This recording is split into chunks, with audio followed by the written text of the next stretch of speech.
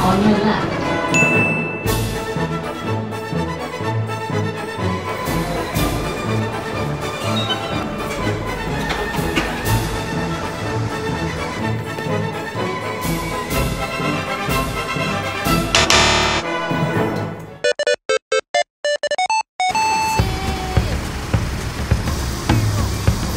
기사님 저 통통대학교 앞으로 가주세요. 최대한 빨리 좀 부탁드릴게요. 예. 아 이번 달도 택시 진짜 너무 많이 탔어 도대체 몇 대를 탄 거야 얼마 나왔어요? 3만 원넘었는데요